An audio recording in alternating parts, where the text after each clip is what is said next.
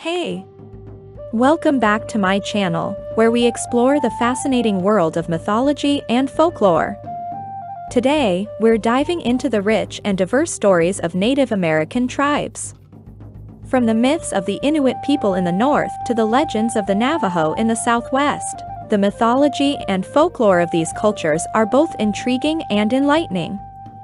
So, let's get started. Native American mythology and folklore encompass a vast array of stories and beliefs that have been passed down orally for centuries. These stories reflect the spiritual and cultural traditions of the tribes and offer insight into their beliefs about the world and their place in it. Many of these myths center around animals, nature, and the elements, and often convey important moral lessons and values. One of my favorite stories from Native American mythology is the legend of the trickster, which is found in many different tribes' folklore. The trickster is a mischievous and sometimes malevolent figure who uses cunning and wit to achieve his goals.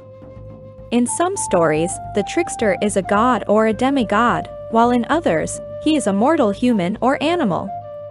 In one version of the trickster story, a coyote tries to steal fire from the gods to give to the humans.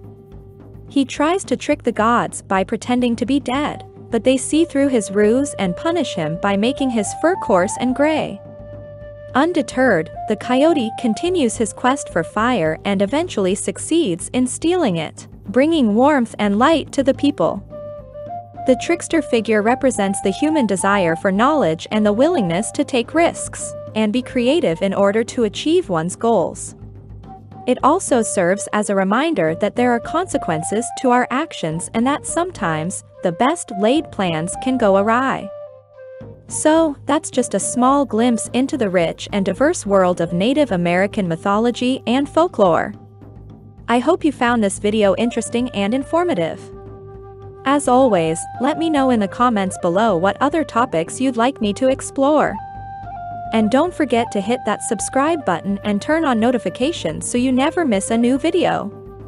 Thanks for watching, and I'll see you next time.